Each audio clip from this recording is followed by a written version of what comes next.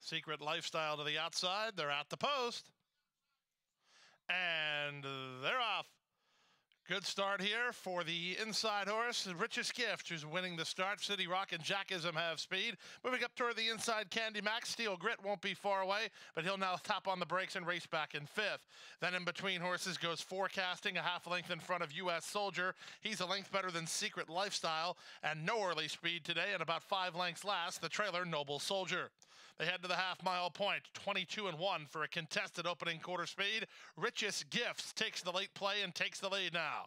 Back to second is the rail runner Candy Max. Up into third is forecasting and trying to move with him City Rock, four wide Jackism. U.S. Soldier in the purple colors has worked his way in between horses. He'll need a way through though as U.S. Soldier as Richest Gifts takes the lead.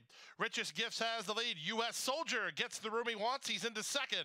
Up on the outside and trying to run home from third is forecasting, but he's very wide from the back. Noble Soldier begins to catch the eye. He'll have be sent six wide, and they're at the top of the stretch. Abby Medina sets richest gifts down for the drive. He leads by five now. U.S. Soldier is a clear second with Noble Soldier now a clear third. Inside the final 16th, three to two favorite. Richest Gifts is still well clear. It will be Richest Gifts and jockey Abby Medina to win by five. U.S. Soldier was second. Third was Noble Soldier. And fourth, Forecasting in 117 and 1.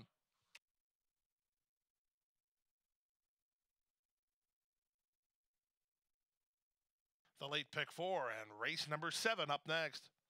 The exacta is good for fourteen. Daily double one forty three sixty. High five one thousand three hundred thirty four dollars carried over to race number seven. The pick three, six, seven, and four.